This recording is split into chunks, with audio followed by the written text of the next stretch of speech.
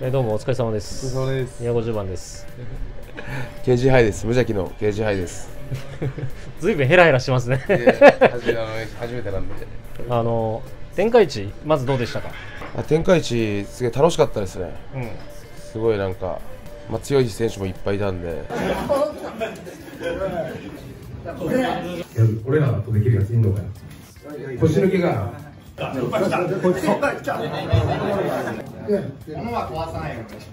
こに来たら喧嘩できる。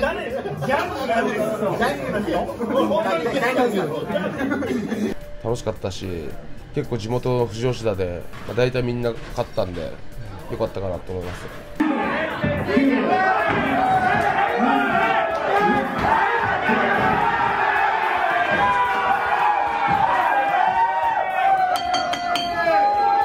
最高でしたね。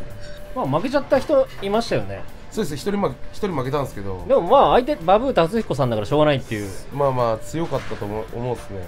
だって地価格50銭以上出てる出てるわけですよ。そうなんですか。しょうがないと思いますよ。ちょっと立ち悪いっすね。あの人。でもなんかすげえアグレッシブに攻撃してたから、すげえいい爪痕を残したんじゃないかなっていうふうには思思いますね。うん。あの藤君っていうの強くなかったですか？富士強いですね。KO してましたね。しかも体重差がすごいあって、そうですね。あれすごいな軽くもうタイミングで手足長いんで、それうまく生かして戦ってましたね。た。いや藤君つ良かったと思いますよあの試合。そうですね。本当に未経験ですからね、あれで。強い。強いですね。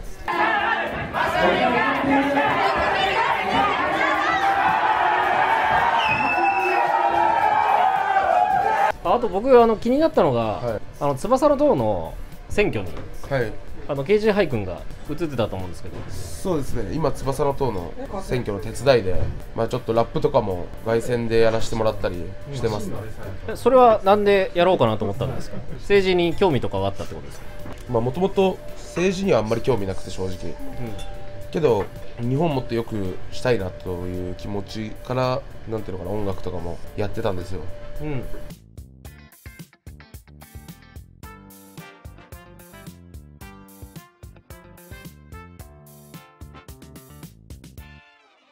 そこでなんかその黒川さんたちを見た時にそういう自分ができない日本変えたい自分ができないことをその最前線で政治の世界でやってる人たちがいるんだと思って。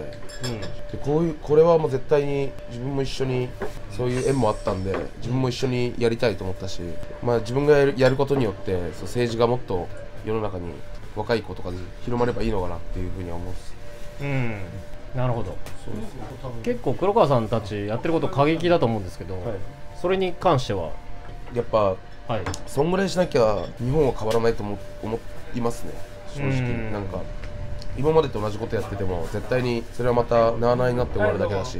うん。ああいう新しいことをやることによって注目を浴びれるというかなんていうのかな人目にはつくんで、うん。まあ、賛否もありますけど。けど賛でも非でも注目は集まるというかうん。その後でそれをよくできればそれちゃんとした政策とか中身とか、まあ自分らもこういうことやってますけど無邪気として音楽その音楽クルーとして政治にも活動してますけどなんていうのかな。やっぱ音楽がダサかったらダメだと思うしその。音楽で日本を変えたいって感じですか？そうですね。音楽でもそうですね。日本をどう変えたいんですか？日本をなんかこうなんて言うんだろうな。幸せみんなが幸せな国がいいと思います。黒川さんが言ってることじゃねえそうのそうそうなんですよすごいなと思いますね。ああやって言えるのは。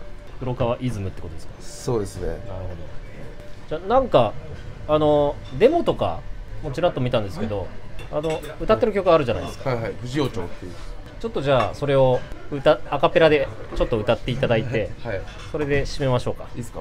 はいえいよ、のろし上げろ、切り開く、レペゼン藤尾町。現状見てみりゃ、政府の教養、従う義理なんか一つもねえよ。ビビってる民にも足りない覚悟。言っちゃダメな言葉なんかないぞ。一度の人生だ、お前はライオン。荷物を捨て旅に出よう、相棒。